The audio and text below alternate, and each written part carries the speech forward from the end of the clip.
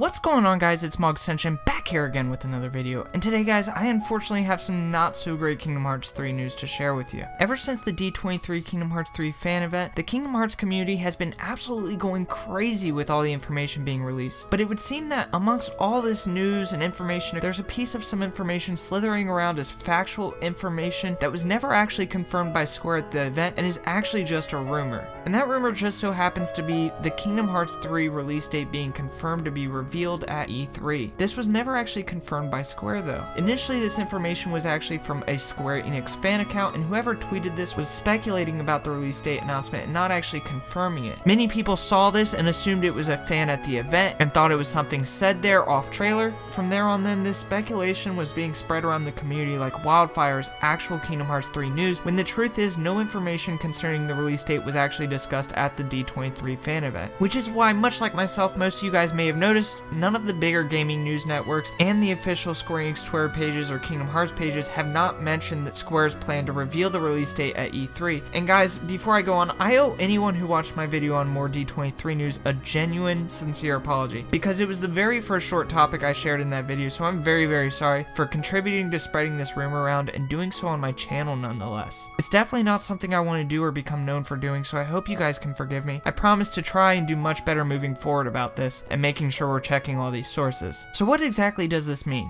Well, I don't think a whole lot's really changed. During their quarterly briefing on November 8th, 2017, Square Enix revealed some information regarding games releasing the next fiscal year and said, quote, development efforts for major titles are underway at both our overseas and domestic studios. We will be making announcements about the release dates of those titles between the end of our fiscal year 2018 and E3. And I will be leaving a link to the source for that, but with that, it would seem E3 is still going to be the most likely time for us to get this announcement, and I think it's still safe to say, still be excited guys, be ready for what's to come with E3, however, take this whole thing with a grain of salt, because yeah, unfortunately guys, there is no information or official confirmation for a plan to reveal the release date, but guys, share this video around with the Kingdom Hearts community, make sure everyone knows about it, and again guys, I'm sorry for the misinformation, I thank you for watching my video, if you love Kingdom Hearts and Final Fantasy content, make sure you subscribe to my channel. Like these 64 awesome people right here to stay up to date on all of my latest videos, and I will see you tomorrow.